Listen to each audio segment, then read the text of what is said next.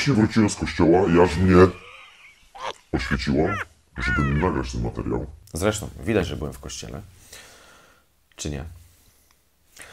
Nie ma znaczenia. Ale znaczenie ma dzisiejszy materiał, a mianowicie to coś, czyli Mac Mini. Porozmawiamy sobie, dlaczego Mac, dlaczego Mini, dlaczego w wersji 16 GB i dlaczego w wersji z podstawowym dyskiem SSD 256. Powiemy sobie, lub ja powiem bardziej, do czego go używam, jak go wykorzystuję, bo z tego co pewnie wiecie, od pewnego czasu przeszedłem totalnie z Windowsa na Mac OS, systemu Android na iOS, uzupełniając Watch OS. Ja jestem Adrian i dzisiaj zapraszam Cię do recenzji, opinii i możliwości, które ja wykorzystuję właśnie do tego, aby moja praca, jak również moje przyjemności były bardziej przyjemne. Zapraszam.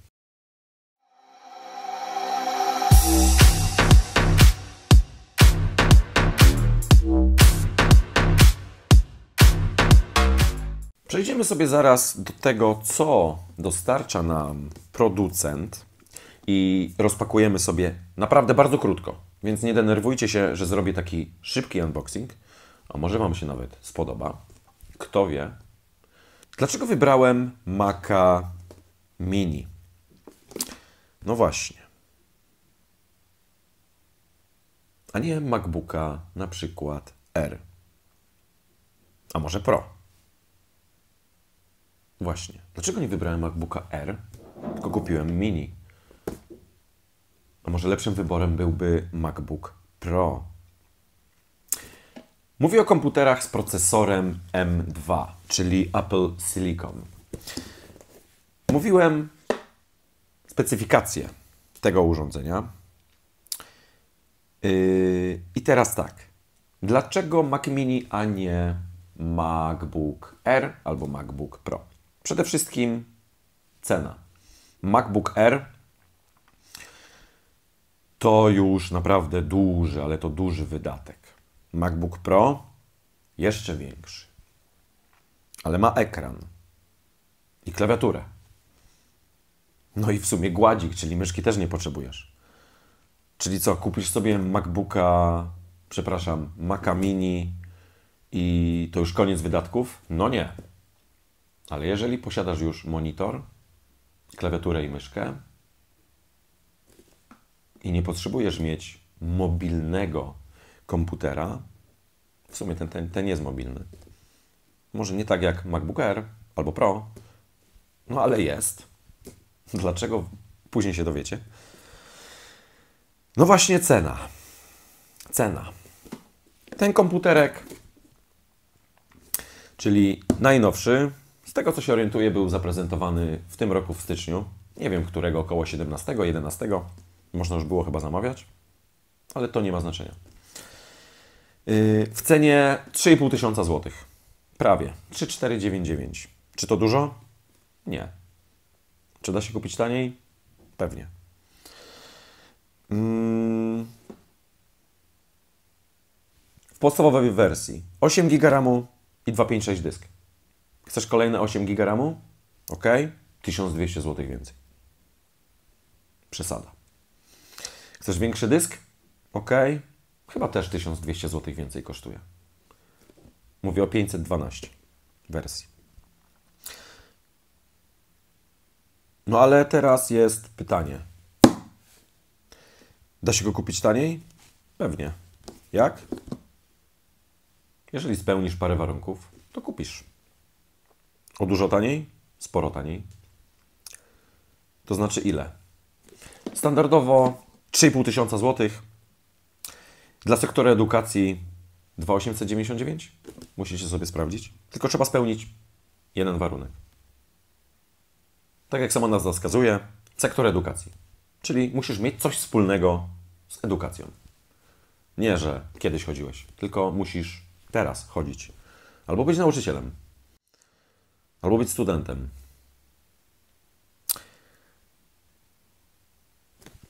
A możesz być rodzicem, który chce kupić dla swojego dziecka? A on właśnie studiuje, chodzi do szkoły? Też możesz. Czy to jest duża różnica? Bardzo duża. Jeżeli ja byłbym studentem, to ten komputer kupiłbym za 3979 zł. A jeżeli nim nie jestem, albo nikt z kim mieszkam tutaj, bo nie mam dzieci, które studiują, to cena wzrasta do 4700? 4800? Jakoś tak. Więc różnica jest strasznie duża. Ale dobra, przechodzimy sobie do unboxingu, a potem porozmawiamy sobie, do czego ja to wykorzystuję.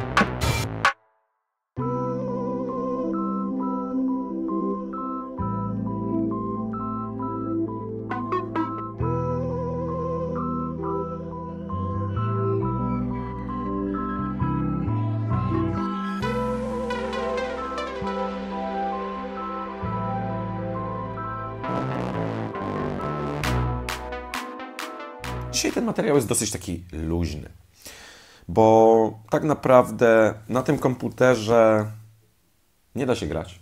Znaczy da się, ale dużo ludzi narzeka, że na Macach się nie da grać.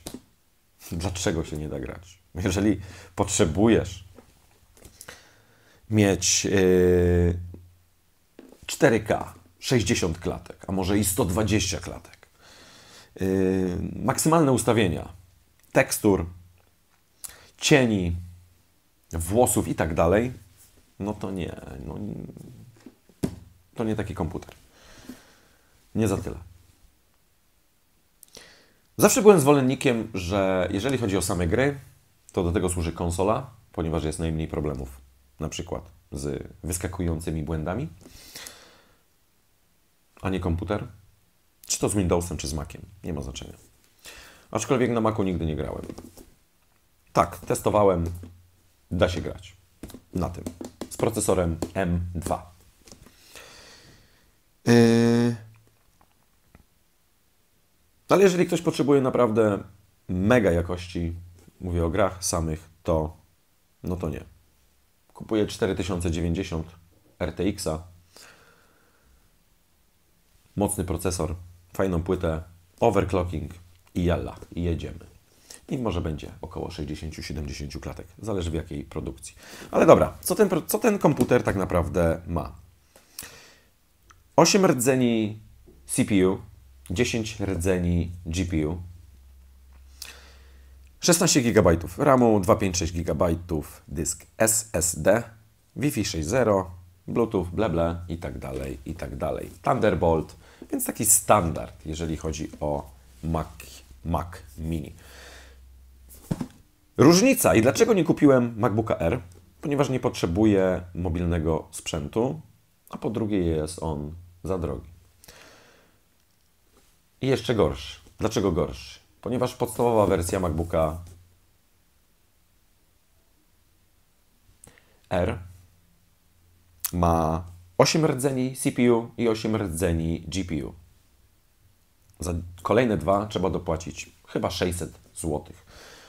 Więc znowu cena podnosi się o kolejne 600 zł. Po drugie, jest on wolniejszy, mimo wszystko. Bo jeżeli na przykład dekodujemy wideo, czy przerabiamy dużą liczbę zdjęć lub eksportujemy, to zaczyna wzrastać temperatura. Trzeba pamiętać albo znać różnicę między Maciem Mini, a na przykład MacBookiem Pro, a MacBookiem R. MacBook R nie posiada wentylatora. Co za tym idzie? Throttling. Mac Mini i MacBook Pro posiadają oczywiście wentylatory. Co za tym idzie, są bardziej uniwersalne, ponieważ dana rzecz zrobi się szybciej. Tak jak na przykład ja wykorzystuję ten komputer do tego, co właśnie widzicie, czyli do obróbki m.in. wideo czy tworzeniu materiałów. Wcześniej posiadałem również Maca Mini z procesorem i3, no ale to już zupełnie inna kategoria wagowa. Ten procesor robi robotę, jest ultra szybki, porównując do i3. Wyglądowo te komputery niczym się nie różnią. Tamten miał więcej portów, ten ma trochę mniej, ale w zupełności mnie to wystarczy. No dobra. Czy ten komputer jest taki fajny? Tak, pod warunkiem, że posiadasz przynajmniej jeszcze inne urządzenie od firmy Apple, na przykład iPhone'a. A jeżeli masz jeszcze dodatkowo zegarek, no to już jest w ogóle czat. Pewnie zadacie sobie pytanie, a pieprzy głupoty. Ciekawe dlaczego. No właśnie, dużo ludzi mówi, że ekosystem.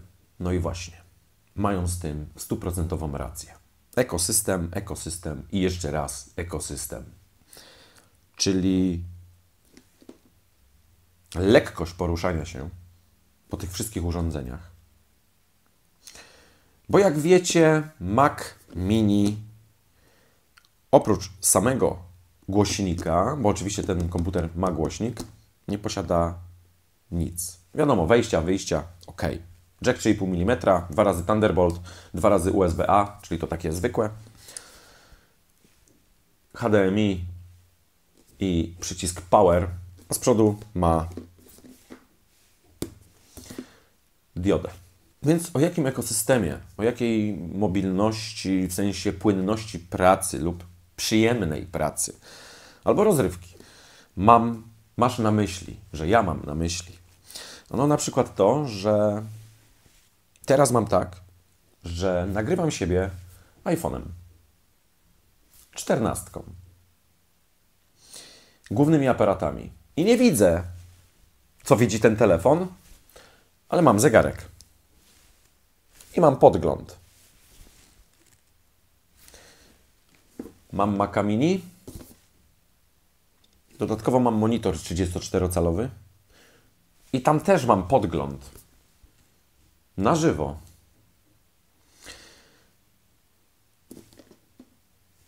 Chcesz zrobić zakupy, na przykład na Macu, bo na telefonie to jak na telefonie.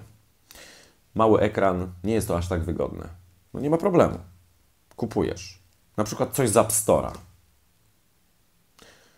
Yy, albo zamawiasz hotel na bookingu. Albo robisz jakieś inne zakupy.